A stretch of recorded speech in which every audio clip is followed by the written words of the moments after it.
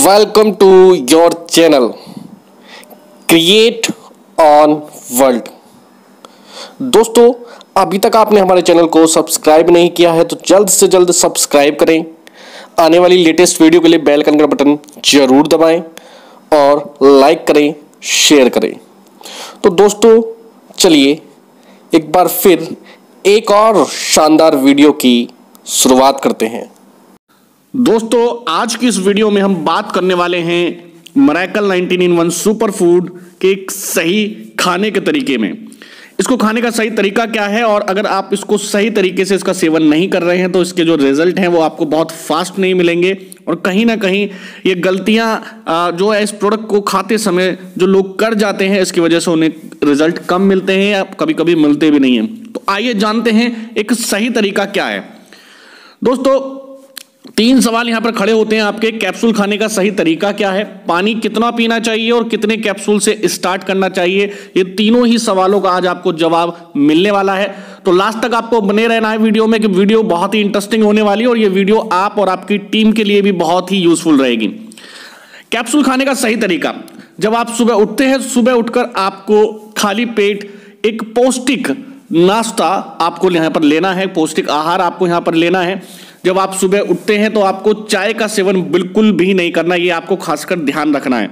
जब हम सुबह उठते हैं तो दोस्तों, हमारी बॉडी के अंदर, हमारी स्मॉल इंटेस्टाइन के अंदर कुछ ऐसे बैक्टीरिया होते हैं जिनको हम गुड बैक्टीरियाज बोलते हैं, जो हमारे सुबह सुबह हमारी पाचन क्रिया को तंदुरुस्त बनाने का काम करते हैं।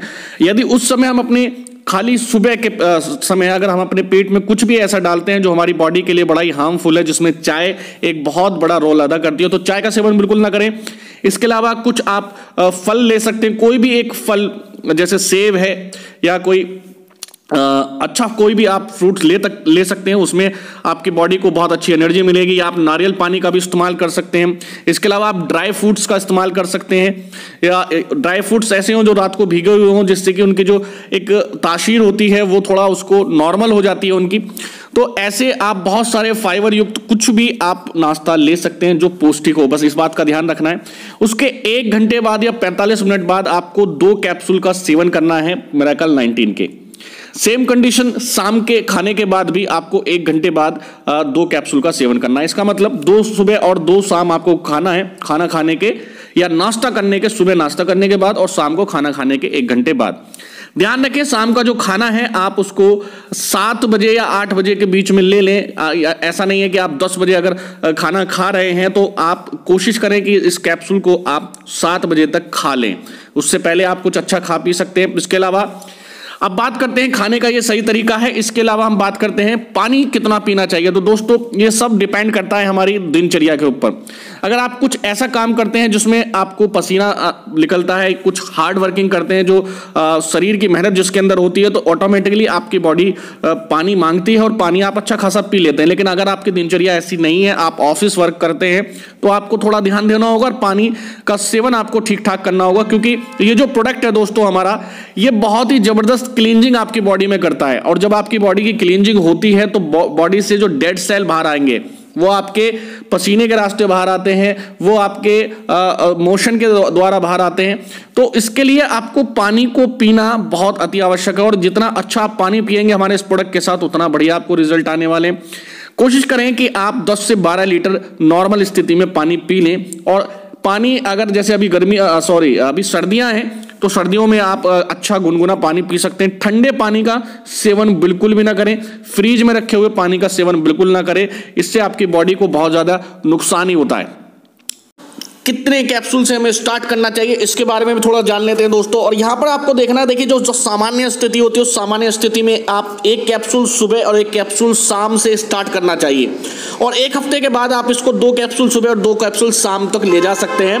ये सब आपको बॉडी का रिस्पॉन्स देखना होता है क्योंकि अभी क्या होता है ये प्रोडक्ट जब आपकी बॉडी के अंदर जाकर क्लिनजिंग का काम करता है तो थोड़े रिफ्लेक्शन होते हैं। अकॉर्डिंग टू रिफ्लेक्शन हमें अपनी डोज को बढ़ाना है। रिफ्लेक्शन क्या होते हैं? इसके ऊपर एक अलग से वीडियो आपको मिल जाएगी। लेकिन फ़िलहाल आप एक कैप्सूल सुबह शाम से स्टार्ट करिए और उसके बाद दो सुबह और दो शाम पर ले जाइए।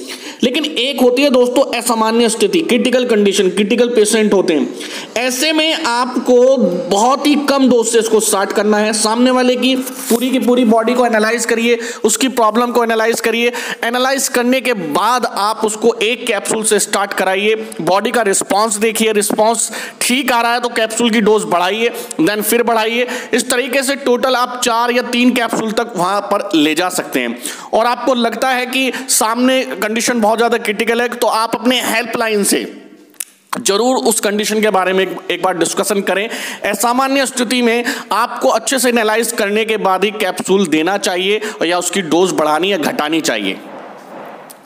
तो ध्यान देने योग्य बात है दोस्तों क्या है? अब लास्ट में आपको ये मैं बता रहा हूँ, ध्यान देने योग्य बात ये है कि यहाँ पर आपको बहुत जो क्रिटिकल कंडीशंस होती है ना, उसके लिए थोड़ा सा आपको ध्यान देना होगा। और पानी की क्वांटिटी कितनी है कैप्सूल कितने ये सब आपको नॉर्मल कंडीशन में तो दो सुबह, दो शाम आप दे सकते हैं। लेकिन असामान्य स्थिति में थोड़ा सा एनालाइजिंग करिए, थोड़ा सा आप जाँच पड़ताल करिए, उसके बाद इस कैप्सूल को दे सकते हैं। तो ये थी दोस्तों हमारी आज की वीडियो जिसमें हमने आपको बताया कि कैप्सूल खाने का सही तरीका क्या है।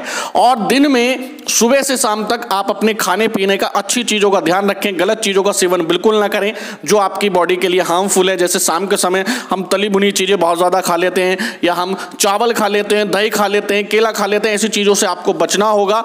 ये बहुत ज़रूरी इंपॉर्टेंट बातें थी जो मुझे आज आपसे शेयर करनी थी। तो बहुत बहुत शुक्रिया बहुत बहुत धन्यवाद लास्ट तक हमारी इस वीडियो को देखने के लिए। इसके अलावा और बहुत सारी वीडियो आपको हमारे इस प्रोडक्ट से रिलेटेड जानकारी से मिलती रहेंगी। चैनल अभी तक सब्सक्राइब नहीं किया तो जल्द से जल्द सब्सक्राइब करें और आने वाली लेटेस्ट वीडियो के लिए बेल आइकन का बटन ज़रूर दबाएँ। धन्यवाद।